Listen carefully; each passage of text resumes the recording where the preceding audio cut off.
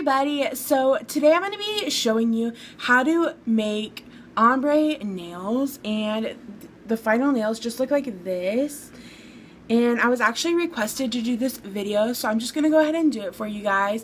I hope you guys enjoy. Thank you guys for all your video suggestions lately. I will be doing a summer series starting here in about a week or two and it's just going to include some makeup, hair, clothes, um, just things like that. So go ahead and send me any suggestions that you guys have. So without further ado, here's the nail art tutorial. So here are the things that you will be needing. First off, you are going to need any top coat. This is from Beauty Secrets.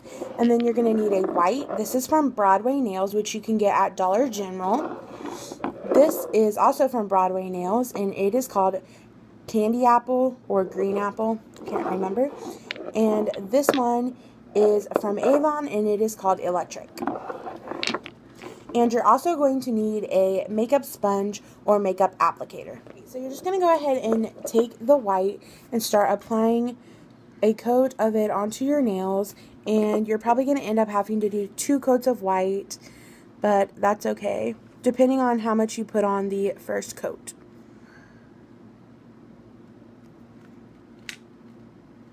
And you're going to want your nails to dry in between coats. So first off, you're going to start with a little makeup sponge and the part where it's smaller, you want to lay that down and you want to put the color that you want first in the ombre at the top, right on it. And what I like to do is just make little lines. And then you want to put the second color right directly underneath it. And it's okay if they're touching. That will help with the ombre effect. And you just want to go ahead and pick it up and then put it directly onto the nail.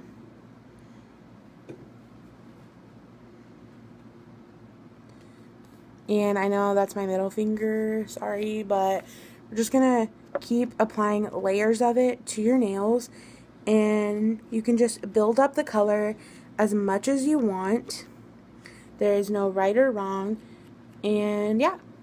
So I'm just going to keep on applying coats. So you're just going to keep on putting the nail polish onto the sponge.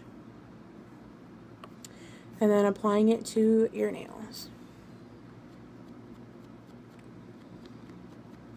And it might take quite a few coats to build it up depending on the nail polishes that you own but I will come back to you as soon as I have this. Halfway through the process, I actually switched purples because this one wasn't showing up as much as I wanted it to. So I went for a darker purple, still from Avon, but it's just a little different.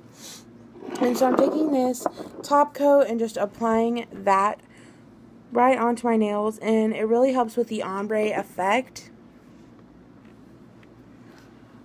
Because it blends the two colors together.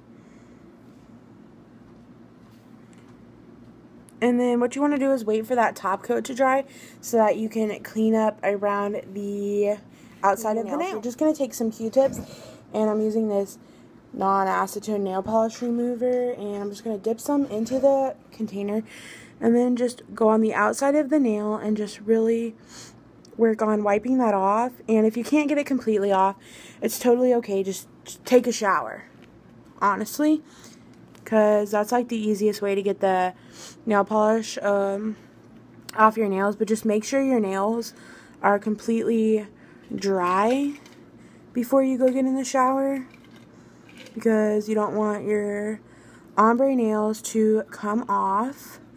So I'm just going to work on taking off this nail polish from the outside of my nails and I will come back to you as soon as it's off with the final results. So these are my final nails and I will be inserting a picture right about here.